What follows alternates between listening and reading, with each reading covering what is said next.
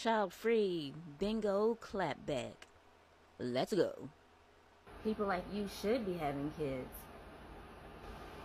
The exact number of humans that Earth needs is zero, so nobody should have kids. As a child free person, you don't have to tolerate disrespect.